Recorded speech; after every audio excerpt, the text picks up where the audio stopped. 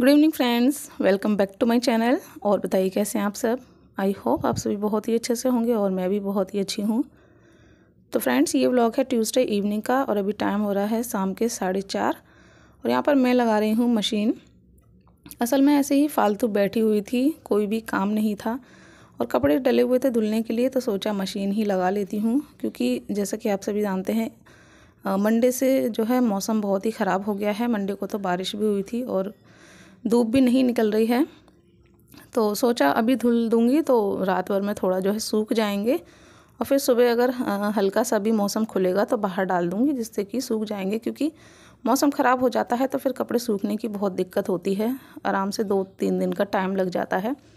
तो इसी वजह से बैठी हुई थी तो सोचा फालतू टाइम वेस्ट करने से अच्छा है मशीन लगा लेती हूँ। तो बस यहाँ पर सारे कपड़े मैंने निकाल लिए थे। और अभी भी यहीं आकर मेरे साथ जो है बातें कर रहा था, पता नहीं क्या बोलता रहता है, कुछ समझ में नहीं आता है। बस ऐसे ही लगा रहता है और अपना मस्ती कर रहा था तो मैंने यहाँ पर सारे कपड़े चेक कर लिए थे और उसके बाद जो है अलग अलग कर दिए थे।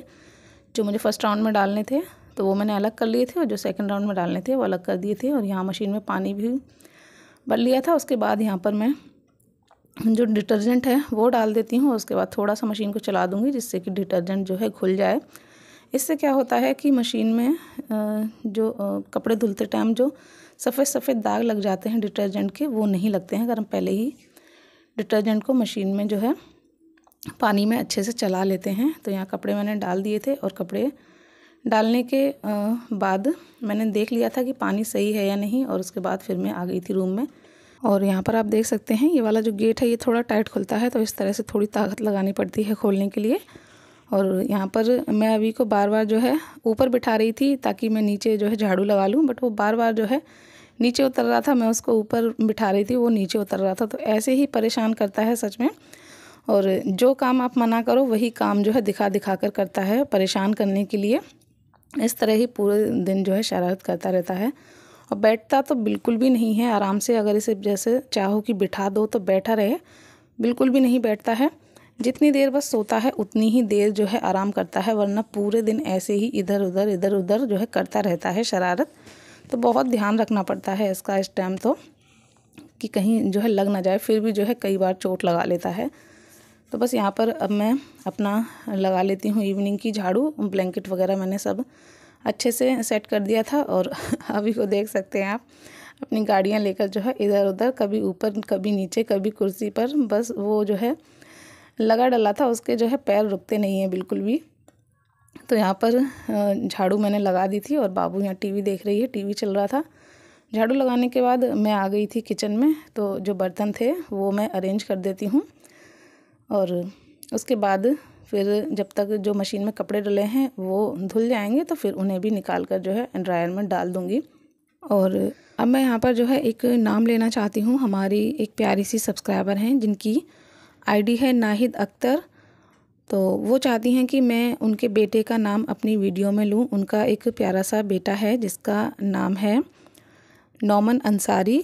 अगर मैं नाम जो है गलत नहीं ले रही हूँ तो और अगर गलत हो तो प्लीज़ उसके लिए सॉरी तो बेटा भगवान आपको जो है दुनिया की सारी खुशियाँ दें। आप हमेशा खुश रहो। आप पर जो है कभी भी कोई भी परेशानी ना आए तो बस मेरी तो भगवान से यही दुआ है। और आप सबसे भी रिक्वेस्ट है कि आप सब भी जो है उनके बेटे को बहुत सारा प्यार दीजिएगा। और इसी के साथ मैं यहाँ पर बात करती हूँ अब एक कमेंट के बारे में। आप सभी को याद होगा कि मैं जब घर से ससुराल गई थी आपको मैंने बताया था कि मेरी सासू माँ है, उनकी चोट लग गई थी तो मुझे जो है बुलाया था। तो मैं वहाँ गई थी बट एक दिन बाद ही मैं वापस आ गई थी। मैंने आप सभी के साथ शेयर भी किया था वीडियो भी मैंने बनाया था। तो कल जो है मुझे उसी वीडियो पर एक कमेंट आया था कि ससुराल में काम ना करना पड़े, इसलिए ससुराल से वापस आ गई, इसीलिए ससुराल नहीं जाती है, काम चोर कहीं की। तो बस मैं उन्हें जो है यही जवाब देना चाहती हूँ कि हाँ मैं काम चोर हूँ, मैं कोई भी काम नहीं करती हूँ, अपने काम भी नहीं करती हूँ, मेरे काम तो जो है कोई और कर जाता है या जो कमेंट कर रही हैं शायद वो मेरे घर के काम कर जाती हैं। और ये तो जो है मेरे जो प्यारे प्यारे व्यूअर्स हैं, जो मेरे सब्सक्राइबर हैं, वो जानते हैं कि मैं कितनी कामचोर हूँ। वो सब तो मेरी वीडियोस से आप सभी को पता चल ही जाता होगा। जबकि आप सभी जानते हैं, मैंने आप सभी को बताया है कि मैं एक पेशेंट हूँ। उस सब के बावजूद जो है मैं अपने घर के सारे काम करती हूँ बिना किसी हेल्पर के। और मेरे दो छोटे छोटे बच्चे हैं, उन्हें भी देखना होता है उनकी पढ़ाई लिखाई उनकी केयर सब कुछ जो है मुझे ही करना होता है इसके साथ साथ यूट्यूब चैनल भी चलाती हूँ और आप सभी जानते होंगे अब तो जान गए होंगे आप सब कि यूट्यूब पर जो है काम करना भी आसान नहीं होता है। तो घर बच्चे यूट्यूब ये सभी संभालना जो है आ, हर किसी के लिए आसान नहीं होता है। मैं ये नहीं कहूँगी कि मैं ही अकेली कर रही हूँ बट बहुत मुश्किल होता है जो करते हैं वो जानते हैं।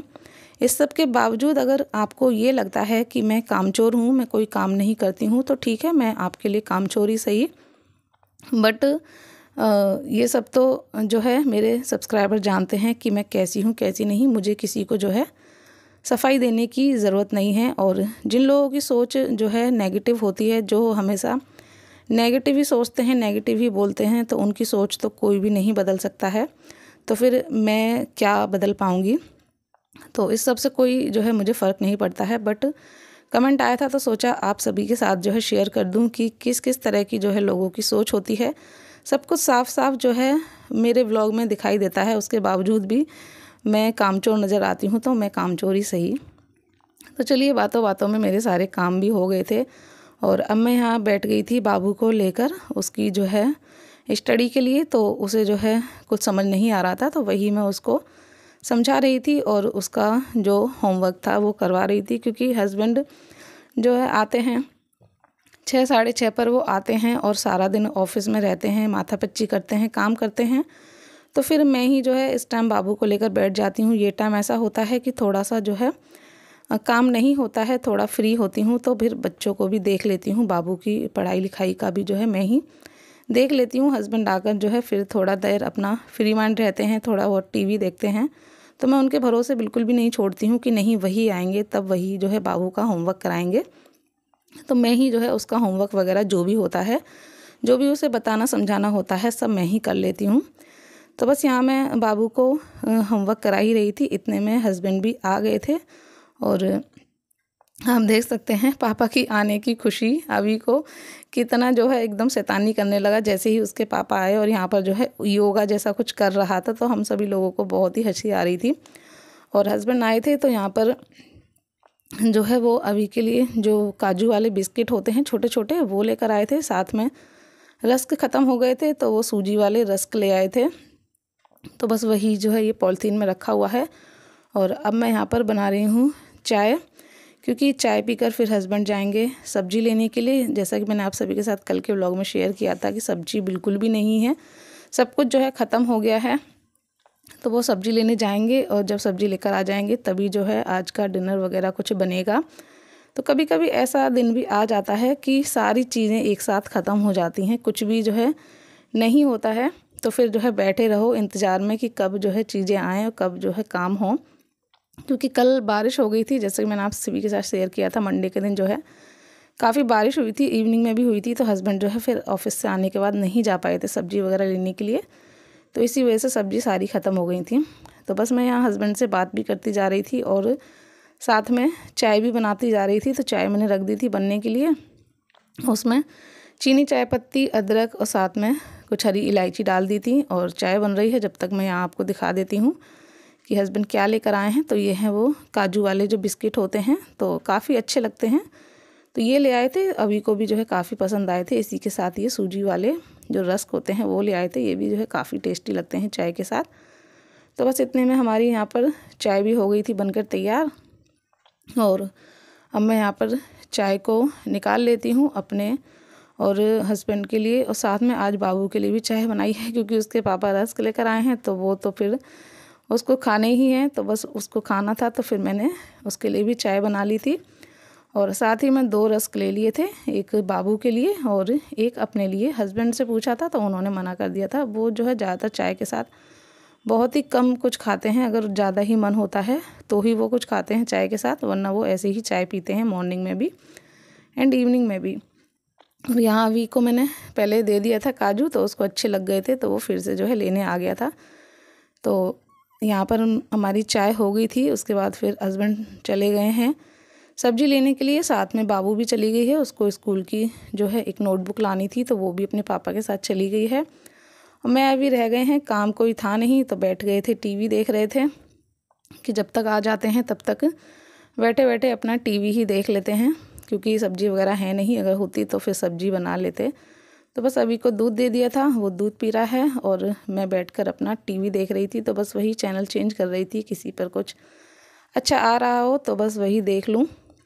और इतने में फिर जो है हस्बैंड भी आ गए थे, सब्ज़ी लेकर तो यहाँ पर देख सकते हैं, सारी सब्ज़ी हस्बैंड ले आए हैं, कुछ फ्रूट्स भी हैं तो अब बनाएँगे डिनर तो वो आपको मिलेगा दूसरे चैनल पर। तो इस वीडियो को करते हैं यहीं पर एंड। आशा करूँगी आपको पसंद आया होगा। पसंद आया हो तो प्लीज़ लाइक कर दीजिएगा, चैनल को सब्सक्राइब कर दीजिएगा। मिलेंगे नेक्स्ट ब्लॉग में, तब तक के लिए बाय बाय टेक केयर।